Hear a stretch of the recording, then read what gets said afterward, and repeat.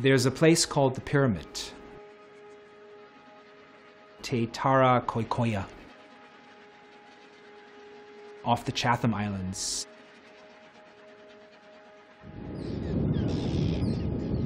This one rock, basically, is the only place in the world where this exceptionally beautiful, extremely rare bird breeds.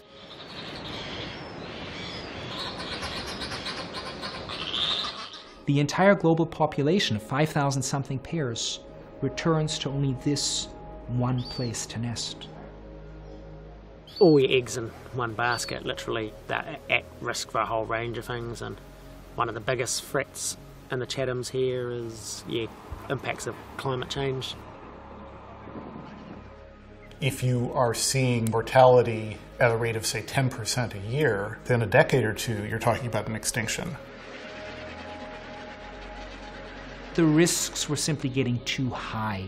So their goal was to create a new colony of Chatham albatrosses on the main island of the Chathams. And that sounds easy, but this is some of the most impressive and incredible conservation work I've ever had the privilege to witness.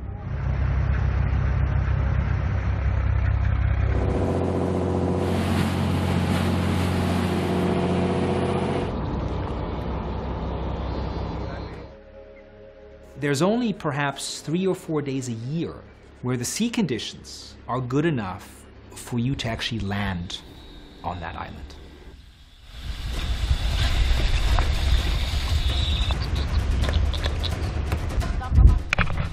Lot of adrenaline going there, sheesh. Why you didn't get the ones up there? They will vomit, exorcist style, onto any person that tries to grab them. But heat is the number one danger. So once you put the first albatross chicks in one of those boxes, the clock begins to tick. So once the birds are off the pyramid and they're on the boat, um, journey really begins.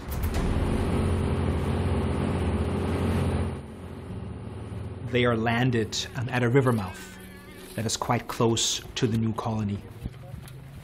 We, we bring the chicks here and put them on their, their new nest.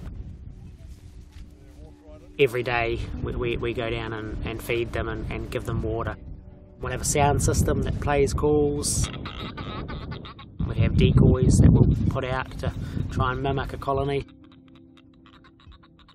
You can't take the chicks when they're too young because they can't survive without their parents. But if you take them at the right age and let them complete their fledging process, they will leave. But they will have imprinted that location in their minds. When it's time for them to breed, they will go back to where they themselves fledged. You let this play out over a decade or two, and suddenly you have a new breeding colony. So we would not have seen even the first year's translocated chicks returning yet because they're still not quite old enough to breed. But that should be happening any year now. It's sort of just waiting really for the birds to come back.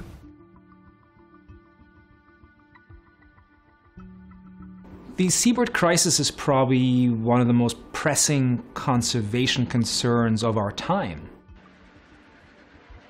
We've lost in the region of 70% of the global seabird population in the last 60 years. You know, hundreds of thousands of auks and cormorants die every year drowned in gill nets. Our fisheries are literally taking fish out of the seabirds' beaks you know, we've had introductions of invasive mice and cats and rats that wreak havoc with, with, with seabird eggs and with the chicks. This is an enormous crisis that's going on almost completely invisible to everyone in the world because seabirds are, by their very nature, not around where we are. The Chatham Islands and the Pyramid and this albatross for me are a symbol of hope that even though you know seabirds globally are in dire straits, we mustn't give up, and there are ways to turn things around.